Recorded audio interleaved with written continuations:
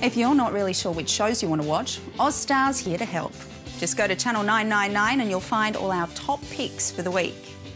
Another quick way to find out what's on while you're watching TV is to use the I button. Simply press the I button to bring up a short description of each show.